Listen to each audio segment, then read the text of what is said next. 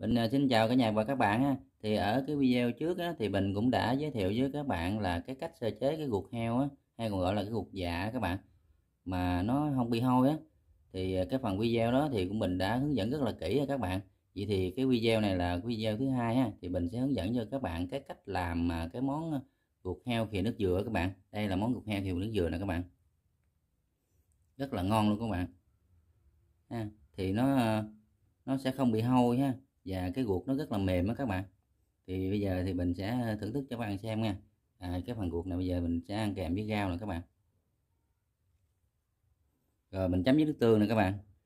À, cái ờ, cái ruột ờ, heo này nè thì mình uống với bia hoặc là rượu rất là ngon các bạn. Giờ mình sẽ thưởng thức cho các bạn xem nha.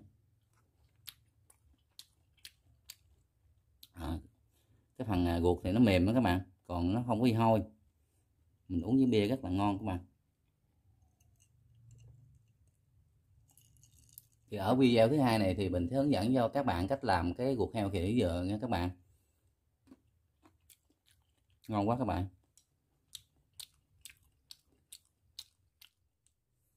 Rồi bắt đầu mình sẽ tiến hành làm các bạn.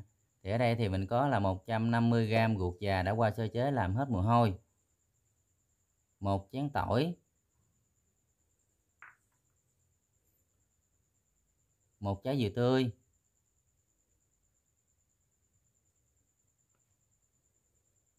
Một muỗng cà phê bột ngọt. Hai muỗng canh đường cát trắng.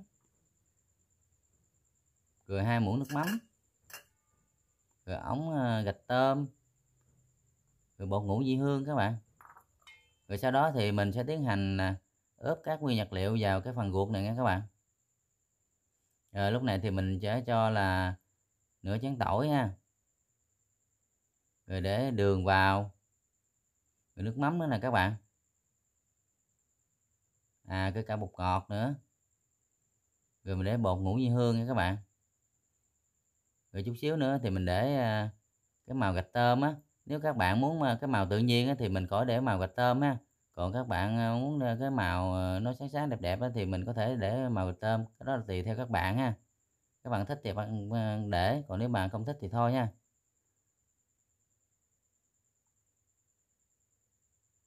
rồi sau đó chúng ta trộn đều ha. Rồi chúng ta chúng ta nhồi cho bóp cho các nguyên liệu nó nó hòa lẫn vào nhau các bạn. Rồi mình ướp trong vòng khoảng là 15 đến 20 phút nha các bạn.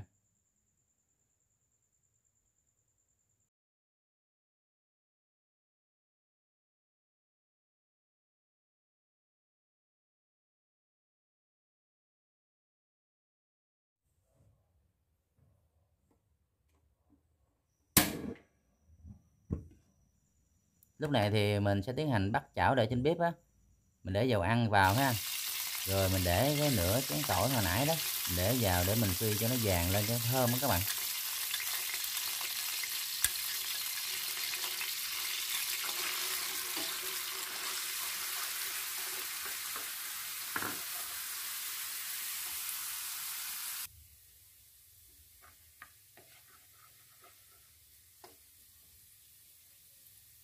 À lúc này nó vàng nó thơm đó các bạn. Thì cái lúc này mình sẽ để cái phần ruột mình ướp hồi nãy đó.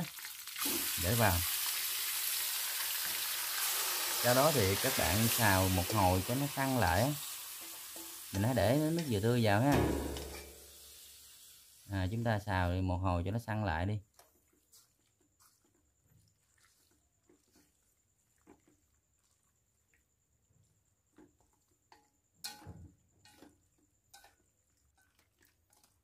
Và các bạn xào tới xào lui á, đến ờ, khi nào mà cái ruột của mình nó săn lại thì các bạn hãy để nước dừa vào nha.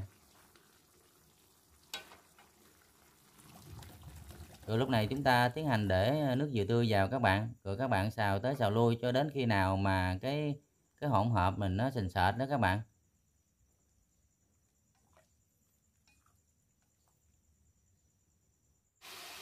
À, lúc này nó sình sệt vậy là được đó các bạn thì cái phần làm à, heo mà khìa nước dừa thì cũng rất là đơn giản các bạn. Nếu các bạn thấy video này hay ha thì hãy nhớ à, vào kênh mình cũng cứ cho mới mình bấm nút đăng ký ủng hộ kênh của mình nha các bạn.